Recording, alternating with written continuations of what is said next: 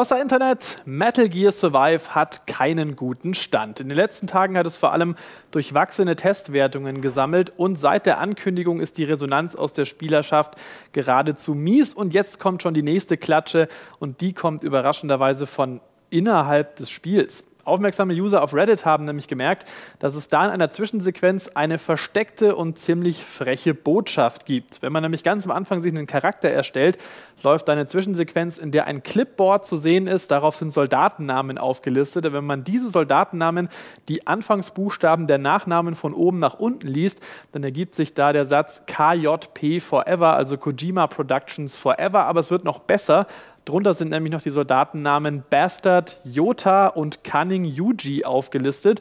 Und das sind zufälligerweise auch die Namen des Directors Yota Tsutsumizaki und von Producer Yuji Korikado. Ob diese beiden Chefentwickler das Ganze selbstironisch gemacht haben und in den Spaß eingeweiht sind oder ob sich hier ein mies gelaunter Mitarbeiter verewigt hat, das ist nicht überliefert. Metal Gear Survive ist seit vergangener Woche für PC, PS4 und Xbox One erhältlich und wird vor allem für dreiste Mikrotransaktionen kritisiert.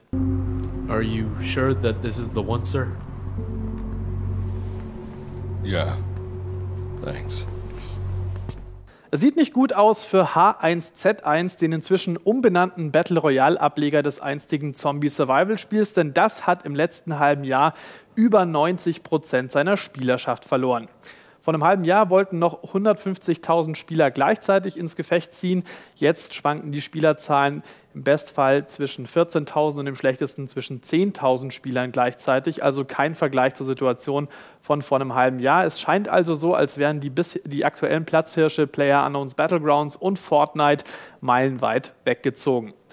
H1Z1 war ursprünglich ein Zombie-Survival-Spiel, hat dann einen Ableger namens King of the Kill bekommen. Dann haben sich die Entwickler von Daybreak Studios aber dazu entschieden, das Ganze umzubenennen. Das heißt, H1Z1 King of the Kill wurde umbenannt in nur noch H1Z1 und das bisherige H1Z1 wurde umbenannt in H1Z1 Just Survive. Den Spielerzahlen gut getan hat diese Umbenennung, aber ganz offensichtlich nicht.